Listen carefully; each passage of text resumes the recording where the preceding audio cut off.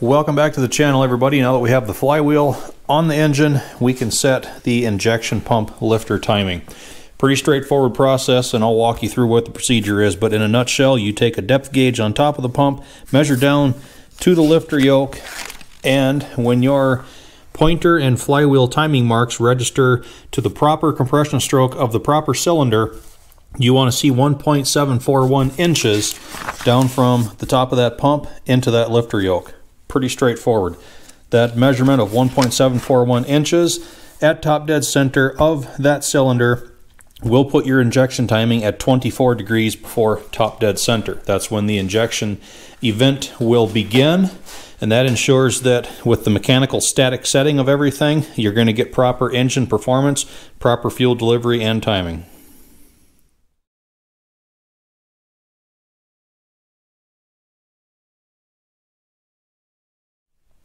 Now, because I still have the cylinder head off this engine, I have the added benefit of being able to use a dial indicator to verify true top dead center on the piston and reference it with my timing marks that are on the flywheel just to make sure that they are in fact correct. Now I've already set the lifter for number one cylinder, but I'll walk you through the process right here to show you how I got there. So first using the dial indicator positioned above number one piston, I will rotate the engine in its normal direction when it's running. We'll just slowly bring the piston up until it contacts. There we go. We watch the needle. We run it up to top dead center. Right there. I will then verify my timing mark on the flywheel and we are top center on cylinder 1 compression stroke right now and it looks like bottom of pointer is in register with timing mark on the flywheel. And it is at this point that we can use the depth mic on top of the pump housing to measure down into the lifter yoke. And this is where you want to thread the yoke and jam nut up or down and then lock it in to get your set adjustment. And this is where you want your 1.741. So we'll zero it out. That's 1.7 depth right there.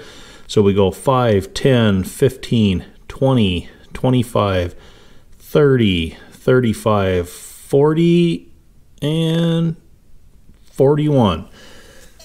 Repeat that process on the other three in firing order sequence, which is 1, 3, 4, and then 2. Setting up for number 3 now, we are on the compression stroke, so we will come up against the dial indicator and we will follow the needle until we find top dead center. Now, it's very important that you do not overrun top dead center and then reverse it to get back there again. If you happen to go past top dead center, the manual states that you want to reverse direction of the engine at least 60 degrees and then in normal direction of engine rotation come up on it again. That ensures that as you position your timing mark and position your uh, piston to top dead center that you are on the drive side of the timing gear teeth that are behind that front cover. Because if you would overrun, there we go, if you would overrun top dead center and then reverse it just a few degrees to get back, your injection timing is, is going to be off by however much backlash there is in those timing gear teeth. Hopefully that makes sense. That's the best way I can describe it. And again, we verify that our pointer is in register with the top center 2 and 3 mark.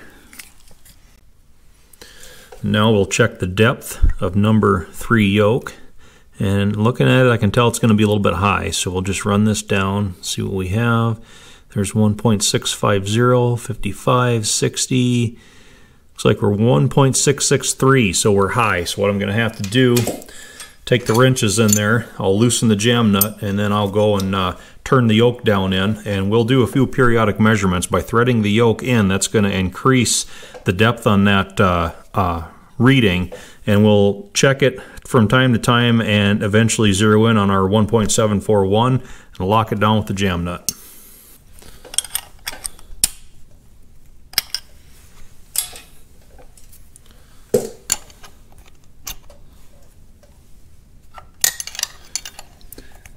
This is where it's really nice that those lifters keep themselves from turning. I like how uh, tight the threads are in these new lifters too. These yokes are almost a, uh, a friction fit in here. Do another check, see where we are. 705. So we need to go, oh, we need to go a ways yet.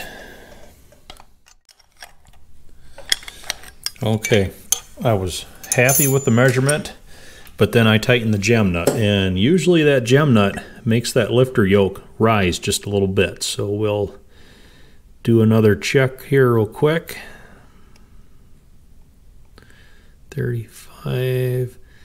Yeah, see, we were at 1.741. We're 1.738 right now. So cinching that jam nut does lift that lifter just a little bit. So I'll loosen that back up. I'll compensate for it, tighten it back down, and then try and get right to our 741 with everything tight. All right, tweaked it just a little bit. We will check. 1.741 right on. Very happy with that. So you've seen every step of the process. I just need to complete it on uh, cylinder 4 and then cylinder 2, and we'll have all these where they need to be.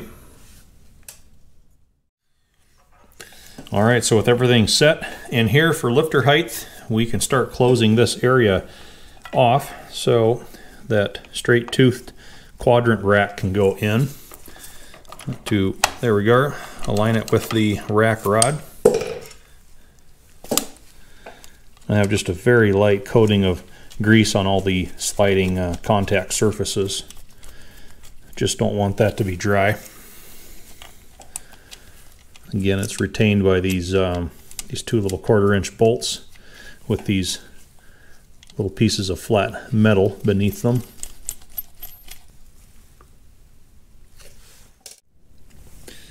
Now I'm just finishing up the installation of the four little O-ring seals that seal the fuel inlet passages to the individual fuel pumps. 2A3307 current number on those. All right, just about ready to install the individual fuel pumps. Uh, a couple checks to do to them first. You can see in the illustration right here, they want you to take a micrometer and measure the pump plunger overall length, checking for wear on this end primarily right here and you can see where it says uh, when testing a pump has been used for a long time, length of plunger should be checked and the pump discarded if the plunger wear exceeds 5 thousandths. The length of new plungers is 2.6575 to 6577 and we check out uh, 2.656 and then 2.657 so we are well within spec on those. Now, there's not a lot I can do to test these things because it requires special testing equipment that I just don't have.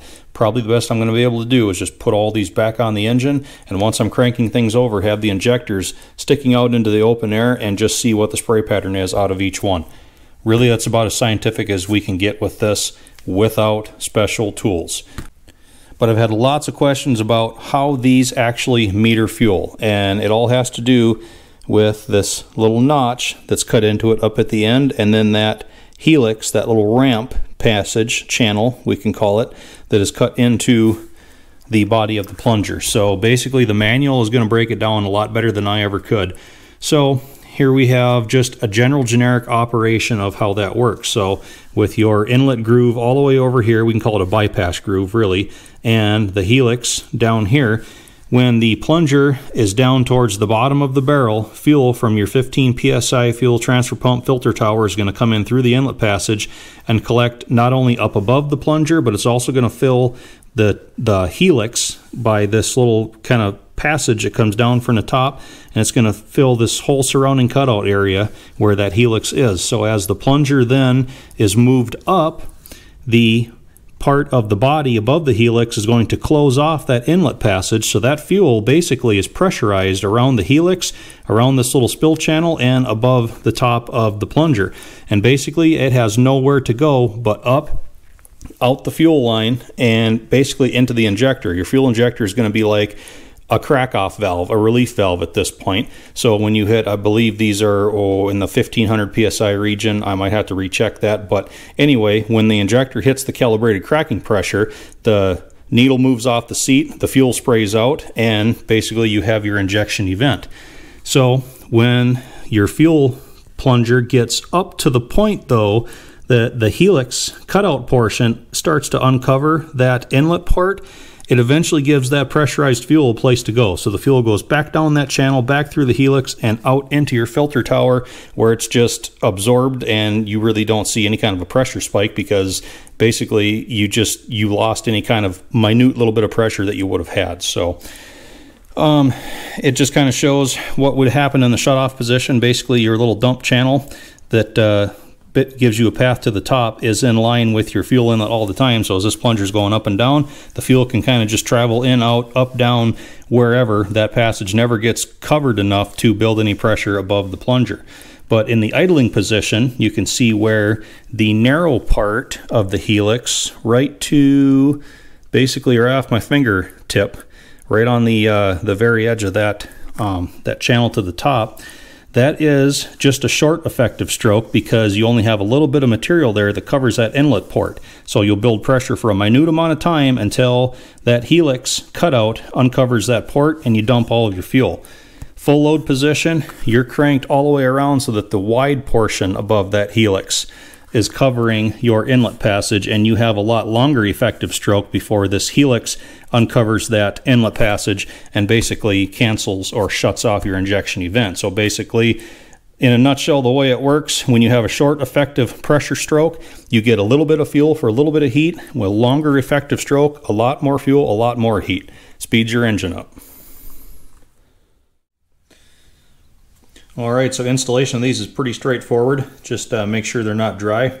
Set them in the original spots that they came out of and basically get your plunger lined with your yoke. And I may have been a little bit premature in putting that uh, straight toothed rack in.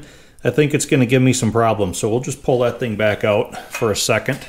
It's only two bolts anyway, so see that everybody proof that not everything goes perfect on the first try all the time, right?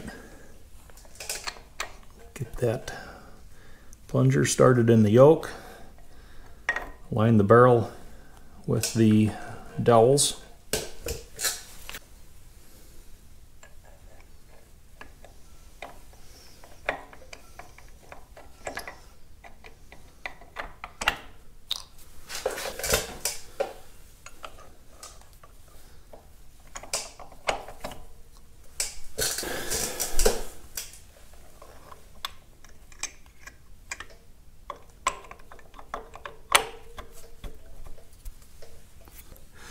And now we can put the, the straight toothed rack back in once again, just making sure to align all of those timing marks.